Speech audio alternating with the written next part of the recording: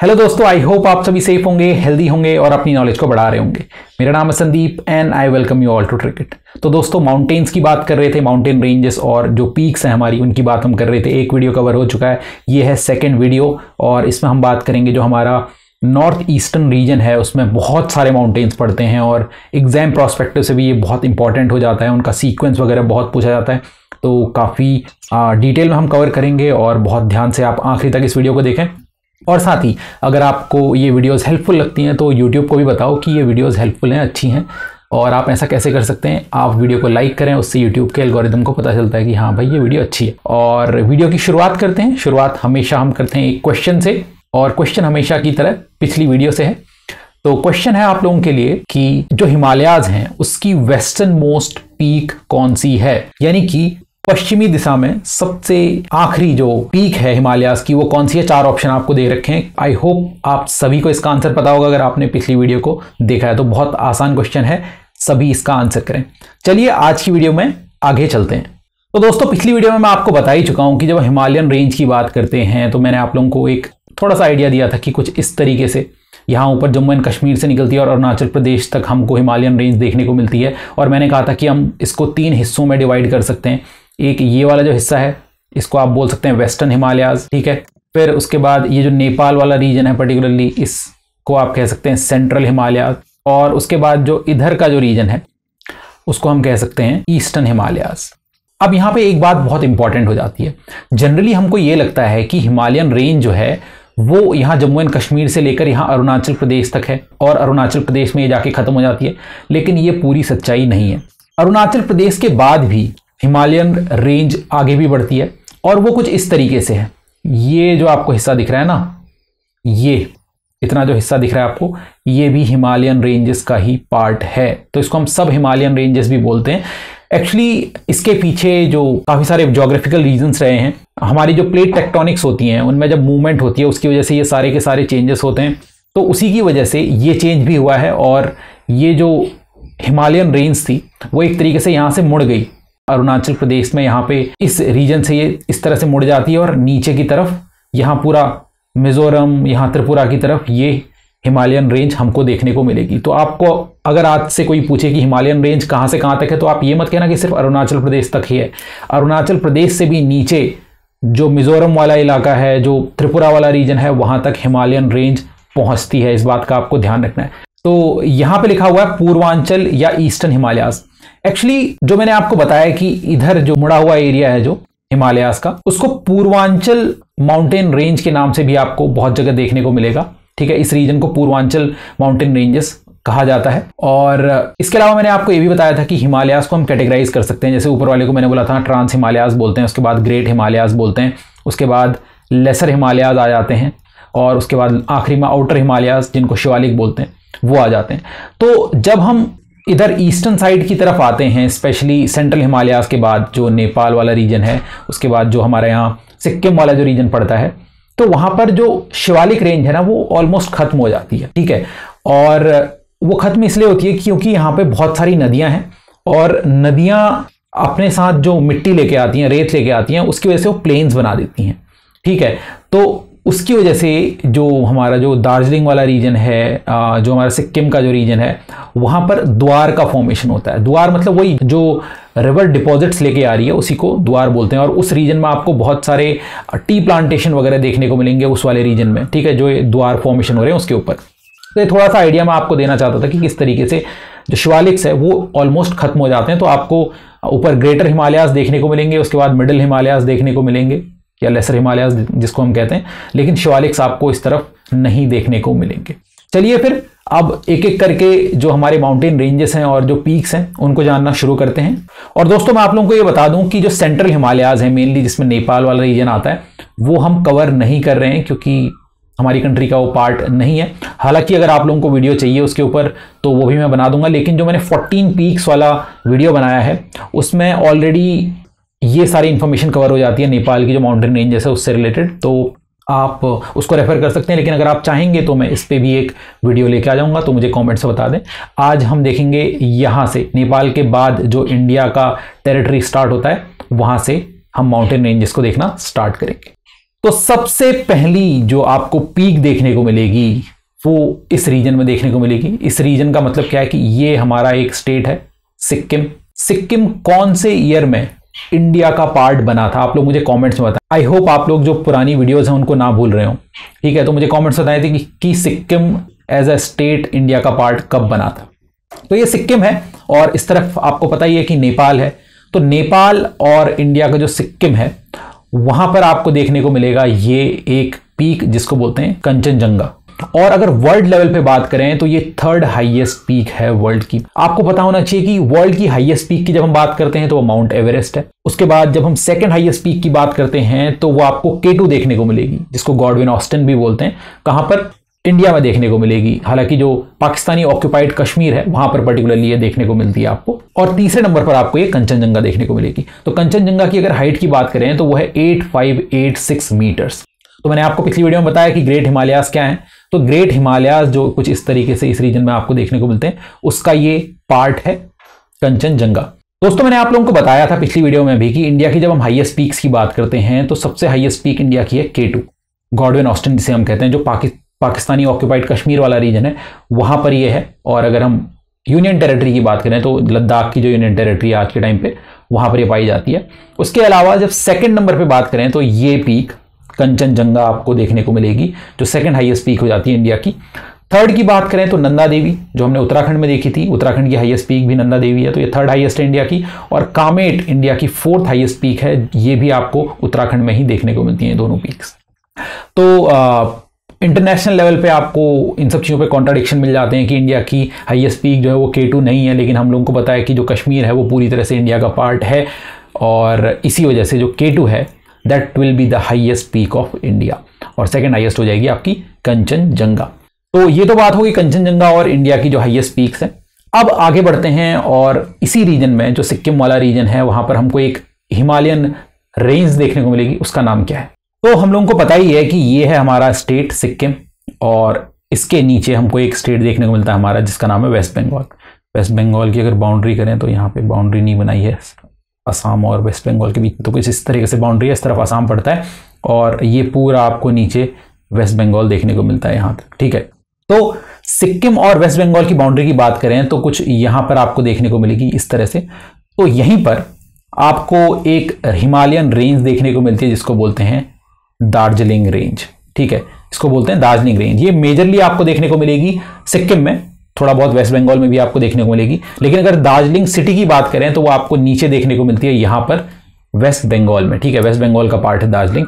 और अगर दार्जिलिंग रेंज की बात करें तो ये है जो हमारे मिडल हिमालयाज हैं, या फिर जिसको हम लेसर हिमालयाज बोलते हैं, उसका ये पार्ट है। और कंचनजंगा किसका पार्ट है? ग्रेटर हिमालयाज का, ये बात आपको पता होनी चाहिए। तो दार्जिलिंग हिमालयन रेंज के बाद अब हम थोड़ा आगे की तरफ़ चलते हैं और अरुणाचल प्रदेश में अब हम एंटर करते हैं। तो अरुणाचल प्रदेश में आपको, मैंने आपको बताया कि ऊपर वाला जो रीजन है, ये क्या है? ग्रेट हिमालयाज वाला रीजन है। तो ग्रेट हिमालयाज में एक पीक आपको यहाँ पर देखने को मिलेगी अरुणाचल प्रदेश में। ये अरुणाचल प्रदेश है हमारा पूरा, यहाँ तक। ठीक है? तो अरुणाचल प्रदेश में ये पीक देखने को मिलेगी, जिसका नाम है कांगटो ठीक है? और कांगटो की अगर लोकेशन की बात करें तो ऊपर आपको पता होना चाहिए, ये जो रीजन है तिब्बत का रीजन है। और ये अरुणाचल प्रदेश हो गया तो कांगटो पीक तिब्बत और जो हमारा अरुणाचल प्रदेश है, उसके बॉर्डर में आपको देखने को मिलेगी। उसके बाद यहाँ पर एक इंपॉर्टेंट पीक पड़ती है जिसका नाम है नामचा बारवा ठीक है? नामचा बारवा जो है वो आपको तिब्बत और इंडिया का अरुणाचल प्रदेश वाला जो स्टेट है उसमें देखने को मिलेगी। नामचा बारवा इंपॉर्टेंट इसलिए हो जाता है कि ये जो हमारा हिमालयन रेंज है उसका ईस्टर्न मोस्ट पीक है ठीक है? पूर्वी दिशा में सबसे आखिरी पीक जो है वो ना, नामचा बरवा आपको देखने को मिलेगी। तो यहाँ पे ये लिखा हुआ है eastern most peak of Himalayas और जो रिवर ब्रह्मपुत्रा है वो यहीं से डेविएट होती है, ठीक है? रिवर ब्रह्मपुत्र है जो वो यहीं से इस तरह से मुड़ के कुछ इस तरह से एंटर करती है इंडिया में, ठीक है? तो अगर नामचा बारवा जो पीक है वो नहीं होती तो जो ये रिवर होती, शायद वो कुछ इस तरह यहाँ को चली जाती, ठीक है? लेकिन इसकी वजह से वो ऐसे टर्न करके इंडिया में एंटर कर जाती है। और ब्रह्मपुत्र रिवर एक्चुअली यहाँ जब ये इधर आसाम में बाद में एंटर करती है, तब इसका नाम पड़ता है, उससे पहले इस रिवर को दिहांग बोलते हैं, ठीक है? दिहांग। दिबांग रिवर भी आपको यहाँ पर देखने को मिलेगी इस रीजन में जो बाग, जो आगे दिहांग में आके मिलती है और लोहित आके मिलती है, फिर ये एक साथ मिलकर ब्रह्मपुत्र का फॉर्मेशन करते हैं। तो ध्यान रखें, यहाँ से जो रिवर आती है, उसको क्या बोलते हैं आप? दिहांग रिवर बोलते हैं। ब्रह्मपुत्र उसका नाम बाद में पड़ता है। तो वो नामचा बारवा से ही मुड़ के आती है। तो ये तो हो गई पीक जो हमने अरुणाचल प्रदेश में देखी, कांगटो और नामचा बारवा अब अरुणाचल प्रदेश में आपको चार बड़ी बड़ी मेजर रेंजेस भी देखने को मिलती हैं। तो उन रेंजेस के नाम जान लेते हैं। तो ये रही वो चार हिल या जिसको हम रेंजेस बोलेंगे। तो यहाँ पर आपको सबसे पहले ये जो है, ये देखने को मिलेगी। ये मेजरली आपको कहाँ पर देखने को मिला अरुणाचल प्रदेश में और थोड़ा सा आपको नीचे हमारा आसाम है। तो थोड़ा आसाम में भी ये है और इसका नाम है डाफला। उसके बाद जब आप थोड़ा ऊपर जाएँगे तो यहाँ पर आपको एक रेंज देखने को मिलती है, इसको बोलते हैं मीरी। ठीक है, ये आपको पूरी तरह से अरुणाचल प्रदेश में ही देखने को मिलेगी। फिर उसके बाद और ऊपर की तरफ़ जाएँगे तो आपको अबोर रेंज देखने को मिलेगी, अबोर हिल जिसको हम कहते हैं। और आखिरी में आपको यहाँ पर एक हिल रेंज देखने को मिलेगी, जिसका नाम है मिश्मी। तो चार रेंजेस आपको यहाँ पर देखने को मिलती हैं, डाफला, मीरी, अबोर और मिश्मी। इसका ऑर्डर बहुत इंपॉर्टेंट हो जाता है, आपसे पूछ लिया जाता है कि अगर आप ऐसे मूव करेंगे, कहेंगे वेस्ट से ईस्ट की तरफ़ तो इसका सीक्वेंस क्या होगा? तो इसको इस तरह से मैं याद रखता हूँ डी एम ए एम ठीक है? D M A M Dafla Miri Abor और मिशमी अब इसमें दो एम आ जाते हैं तो लाइन में हम जो पहले छोटे होते हैं ना, जिनकी हाइट कम होती है, उनको आगे लगाते हैं. तो इसीलिए मीरी जो है, उसका स्पेलिंग अगर आप देखें तो सिर्फ़ चार लेटर्स हैं इसमें तो मीरी आगे आएगा और मिशमी बाद में आएगा. ऐसे भी याद रख सकते हैं. और एक और अगर थोड़ा फंडा मैं बताऊँ तो आपने किशमिश देखा होगा तो ड्राई फ्रूट्स में उसको इतनी ज़्यादा वैल्यू हम नहीं देते, उसको आखिरी में खाते हैं, जब सब खत्म हो गया. तो मिशमी थोड़ा किशमिश टाइप का साउंड करता है ना तो मिश्मी सबसे आखिरी में आएगा। ऐसे भी आप याद रख सकते हैं। तो डीएमएम से आप याद रखें। डाफला मीरी अबोर और मिशमी आपको देखने को मिलेंगे अरुणाचल में। इसीलिए ये जो रीजन है, इसको अरुणाचल हिमालयाज भी बोल दिया जाता है। उसके बाद मिशमी जो हिल्स है, ये इंपॉर्टेंट हो जाती है आपके लिए। इंपॉर्टेंट इसलिए हो जाती है कि मैंने आपको थोड़ी देर पहले बताया था कि ये यहाँ से जो है, ये इस रीजन में जो हिमालयाज जो हैं, वो इस तरह से मुड़ जाते हैं। ठीक है? और इस रीजन को हम बोलते हैं पूर्वांचल माउंटेन्स ठीक है? एक्चुअली मैंने आपको थोड़ी देर पहले बताया था ना या नामचा बारवा से जो ब्रह्मपुत्र रिवर है, जिसका नाम दिहांग रहता है पहले तो वो यहाँ से कुछ आती है और ऐसे चली जाती है आगे। तो तो जो दिहांग रिवर है, उसके इधर वाला जो रीजन है, उसको कंसिडर कर लिया जाता है पूर्वांचल रेंजेस में। तो इसीलिए मिश्मी जो है, उसको पूर्वांचल रेंजेस का पार्ट माना जाता है। तो अरुणाचल में जो पीक्स हैं और जो माउंटेन रेंजेस हैं वो हमने देख ली। अब हम जो पूर्वांचल माउंटेन रेंज है, उसमें देखते हैं कि कौन कौन सी पीक और कौन कौन से माउंटेन रेंजेस देखने को मिलेंगे। तो मैंने आपको बता ही दिया कि मिश्मी तो पूर्वांचल रेंजेस का पार्ट है ही। उसके बाद जब हम आगे बढ़ेंगे तो यहाँ पर ये आपको देखने को मिलेगा पटकाई बम, ठीक है? पटकाई बम हिल्स या रेंजेस आपको देखने को मिलेंगी। लोकेशन अगर आप इसकी देखें तो आप देख सकते हैं अरुणाचल प्रदेश यहाँ तक है। तो अरुणाचल प्रदेश में भी आपको ये देखने को मिलेगा। उसके अलावा यहाँ पर असम वाला जो रीजन है, उसमें भी आपको देखने को मिलेगा और नागालैंड में भी देखने को मिलेगा। तो तीन जो हमारे स्टेट्स हैं, उनमें ये रेंजेस देखने को मिलती हैं, जिसको पटकाई या पटकाई बम कहा जाता है। एक्चुअली दोस्तों, मैंने आपको बताया ना कि हिमालयन रेंज जो है, वो कुछ इस तरीके से है। ठीक है, यहाँ से स्टार्ट हो रही है, वो फिर यहाँ नीचे तक जा रही है। तो ये एक ही रेंज है, इसको अलग अलग नाम दिए गए हैं। जैसे कि पटकाई जो नाम है, वो इस रीजन में दे दिया गया। है उसके बाद नागालैंड में जाएँगे तो उसको नागा हिल्स बोल दिया जाता है। फिर मणिपुर में जाएँगे, उसको मणिपुर हिल्स बोल दिया जाता है। मिजोरम में जाएँगे, मिजो हिल्स बोल दिया जाता है। अब ये जो रेंज है, वो एक ही है, लेकिन बीच बीच में रिवर्स हैं। ठीक है रिवर्स आती हैं बहुत सारी तो वो इनको डिवाइड कर देती हैं, तोड़ देती हैं। तो इनको फिर अलग अलग नेमिंग दे दी गई है लोकल लेवल्स पर। ठीक है तो पटकाई बम आपको यहाँ पर इसको नाम दिया गया है। तो आप लोगों को याद ही होगा, मैंने आपको ट्रिक बताई थी जो नॉर्थ ईस्टर्न स्टेट है, उनको याद करने की अरुणा मामी ठीक है? तो अरु से अरुणाचल हो जाता है, ना से नागालैंड हो जाता है तो अरुणाचल में आपको मिशमी देखने को मिल जाएगा और फिर आपको पटकई इस रीजन में देखने को मिल जाएगा। फिर हम पहुँच जाते हैं नागालैंड में तो फिर आपको नागा हिल्स देखने को मिलेंगी। अब नागा हिल्स जो हैं और नागा हिल्स में आपको एक बात ध्यान रखनी है कि यहाँ पर एक माउंटेन पीक है, जिसका नाम है सारामाटी। ठीक है? सारामाटी माउंटेन रेंज आपको नागा नागा जो हिल्स हैं उसमें देखने को मिलेगी। और इसको मैं कुछ इस तरह से रख, ध्यान में रखता था कि इसको थोड़ा ऑफेंसिव वे में मत लेना बस एक आपको याद रखने का तरीका है। तो नागालैंड को मैं जो नागा बाबा हैं उस तरह से याद रखता था। अब नागा बाबा जो रहते हैं जनरली वो क्लोथ्स वगैरह नहीं पहनते। तो मैं ऐसे याद रखता था कि ये क्लोथ नहीं पहनते तो इनको शर्म नहीं आती। तो इस तरह से नागा हिल्स में आपको सरमाटी या सारामाटी माउंटेन पीक आपको देखने को मिलेगी, यहाँ की हाईएस्ट पीक है उसके बाद नागालैंड के बाद हम आगे पहुँचते हैं अरुणा, मामी, ठीक है? मा से मणिपुर और मी से मिजोरम। तो मणिपुर में जब हम पहुँचते हैं तो यहाँ पर आपको मणिपुर हिल्स देखने को मिलेंगे। अब मणिपुर हिल्स के पैरेलल में ही एक और हिल रेंज आपको देखने को मिलती है, जिसका नाम है लाइमाटोल ठीक है? तो ये भी मैं एक तरीके से याद रखता था। तो मणिपुर में आपको लाइमाटोल देखने को मिलती है तो आपने मणि का नाम सुना होगा, ठीक है? जो नागमणि वगैरह फ़िल्मों में बहुत सुना है, शक्तिमान आता था, उसमें मणि सुना है हमने। तो मणि जो होती है, वो गोल मटोल होती है, गोल होती है, ठीक है? तो गोल मटोल से मैं याद रखता था, लाई मटोल। तो मणिपुर में आपको लाई मटोल रेंज देखने को मिलेगी और ये मणिपुर के एकदम पैरल में देखने को मिलती है। अब इनके बीच में, ठीक है, इन दोनों हिल्स के बीच में आपको एक लेक देखने को मिलता है जो बहुत फ़ेमस है, लोकटक लेक, ठीक है, जिसको फ्लोटिंग लेक भी बोला जाता है। वो आपको यहाँ पर देखने को मिलेगा जब नेशनल पार्क पढ़ेंगे इसके बारे में और भी ज़्यादा जानेंगे। उसके बाद, मणिपुर के बाद जब हम आगे बढ़ेंगे तो मिजोरम में पहुँचते हैं, अरुणा मामी, ठीक है? मिजोरम में यहाँ पर एक रेंज देखने को मिलती है, इसको मीजो हिल्स बोलते हैं, या फिर लुसाई हिल्स भी इसको बोला जाता है। देखिए, इसको लुसाई हिल्स इसलिए बोला जाता है क्योंकि पहले मैंने आपको बताया था, जब हमारा जो कंट्री इंडिपेंडेंट नहीं हुआ था, तब की बात कर लेते हैं तो असम जो प्रोविंस होता था, वो बहुत बड़ा हुआ करता था, ठीक है? तो यहाँ पूरे आखिरी तक ये आसाम प्रोविंस ही हुआ करता था।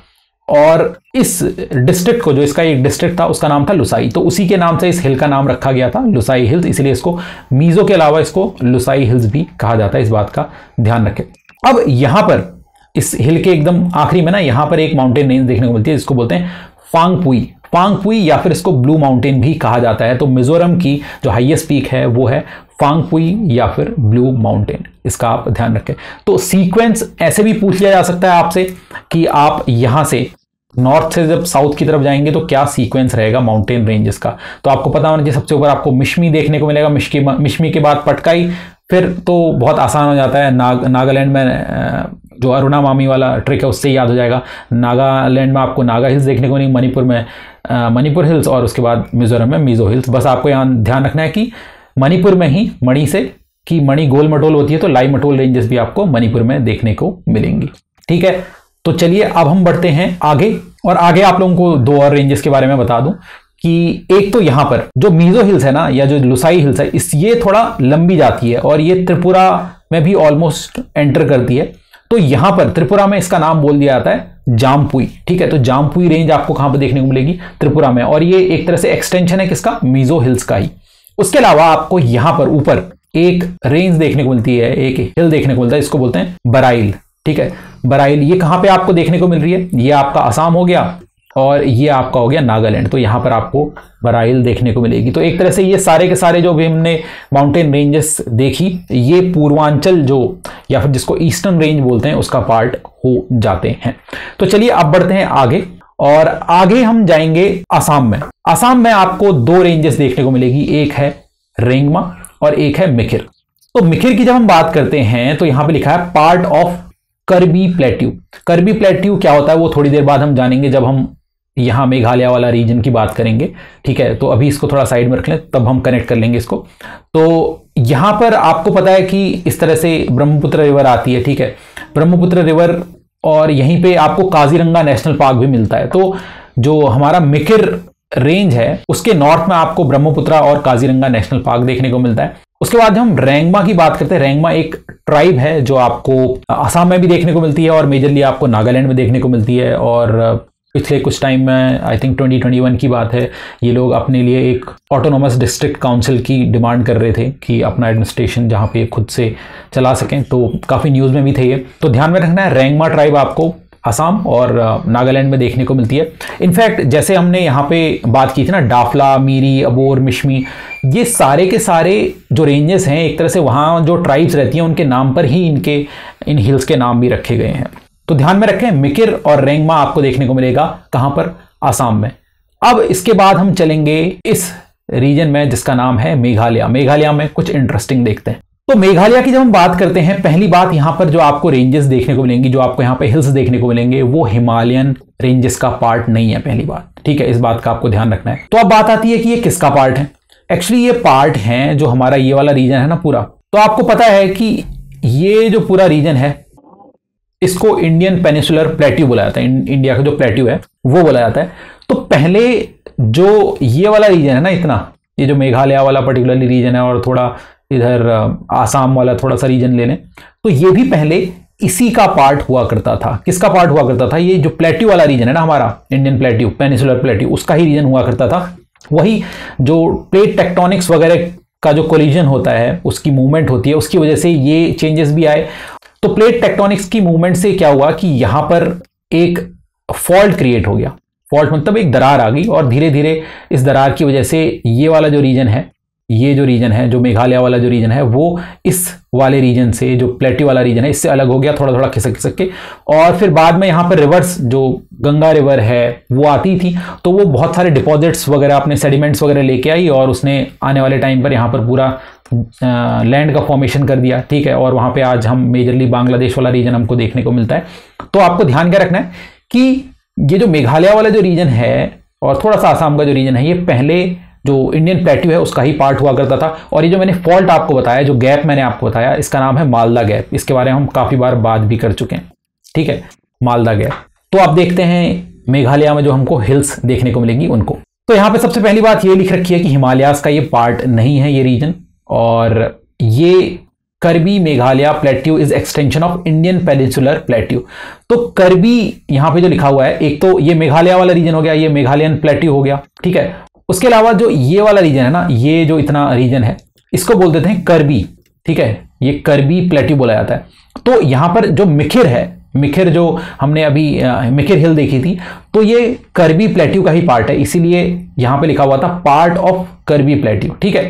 तो करबी मेघालय जो प्लेट्यू था वो पहले आ, इंडियन पेनिसुलर प्लेट्यू का पार्ट हुआ करता था लेकिन ये उससे अलग हो गया और बीच में जो इनके गैप है जो फॉल्ट है उसको बोला जाता है मालदा फॉल्ट तो पहले ये किसके साथ जुड़ा हुआ था? आपको यहाँ पर झारखंड वाला जो रीजन है ये यहाँ पर राजमहल हिल्स आपको देखने को मिलती हैं. तो राजमहल हिल्स से जुड़ा हुआ करता था मेघालयन और करबी प्लेट्यू और अब इनके बीच में क्या आ गया है? मालदा गैप आ गया तो मेघालय में, मेघालयन प्लेट्यू में आपको तीन रेंजेस देखने को मिलेंगी और आपको इनका ऑर्डर पता होना चाहिए। गारो, खासी और जैंतिया। अब आपको ये कैसे याद रखना है, जैसे मैं याद रखता था, फिर से मैं बता दूँ। तो मैं इसको ऐसे याद रखता था जी के जानो।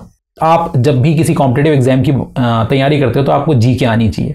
तो इसीलिए मैं इसको याद रखता हूँ जी के जानो से।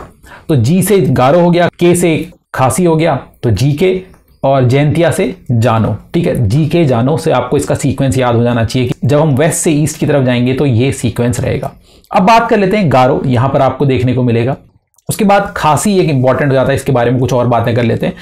जो आप शिलोंग शिलोंग जो है, जो कैपिटल है मेघालय की, वो आपको यहीं पर खासी प्लेट्यू में देखने को मिलेगी। यहाँ पर एक शिलोंग पीक भी आपको देखने को मिलेगी, खासी में ही। उसके अलावा खासी जो रीजन है, यहाँ पर बहुत ज़्यादा बारिश होती है। गारो वाले रीजन में भी होती है, लेकिन खासी में पर्टिकुलरली वो दो जगह हैं जिनका आपने नाम बार बार सुना होगा कि यहाँ पर सबसे ज़्यादा बारिश होती है।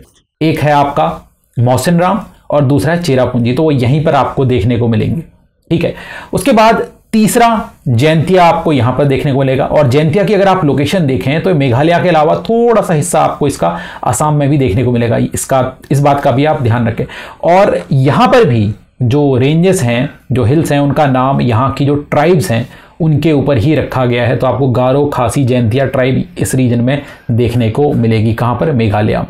और इस तरीके से जो हमारा नॉर्थ ईस्टर्न इलाका था, वहाँ पर जो हमारी माउंटेन रेंजेस थी, जो हमारी पीक्स थी, उनको हमने कवर कर लिया। और आई होप आप लोगों को एक अंडरस्टैंडिंग बन पाई होगी कि कौन कौन सी रेंजेस यहाँ पर हैं, और थोड़ा याद भी हो गया होगा। थोड़ा बार बार रिवीजन करेंगे तो बहुत अच्छे से दिमाग में भी आपके बैठ जाएगा। अगर एक बार समराइज करें तो आपको पता होना चाहिए कि सिक्किम में हमको एक पीक देखने को मिलती है, कंचनजंगा, और यहाँ पर आपको दार्जिलिंग रेंज देखने को मिलती है। उसके बाद अरुणाचल में हम जाते हैं तो हमको डीएमएम देखने को मिलते हैं, ठीक है? और उसके अलावा दो पीक्स भी अरुणाचल में देखने को मिलती हैं, आपको कांगटो और नामचा बारवा। नामचा बारवा जो है वो ईस्टर्न मोस्ट पीक है हिमालयास की। और उसके बाद हम जब पूर्वांचल माउंटेन्स की बात करेंगे तो ऊपर मिशमी आ जाएगा, फिर पटकाई फिर उसके बाद नागा, उसके बाद मणिपुर, फिर उसके बाद मीज़ो। और मणि के साथ आपको देखना है कि मणि जो है वो गोल मटोल होती है, इसलिए लाई मटोल आपको मणिपुर में देखने को मिलेंगे। और मीज़ो हिल्स का ही एक्सटेंशन आपको देखने को मिलेगा, यहाँ पर जामपुई, जो कि आपको त्रिपुरा में देखने को मिलेगा। और उसके बाद हमने देखा था कि यहाँ पर जो मेघालय में तीन हिल्स आपको देखने को मिलती हैं, गारो, खासी जयंतिया जो कि मेघालयन प्लेट्यू का पार्ट है। उसके अलावा आपको मिखिर देखने को मिलेगा। मिखिर जो कि करबी प्लेट्यू जो है उसका पार्ट है। और उसके अलावा एक रैंगमा पीक भी आपको देखने को मिलेगी जो कि आपको असम में देखने को मिलेगी।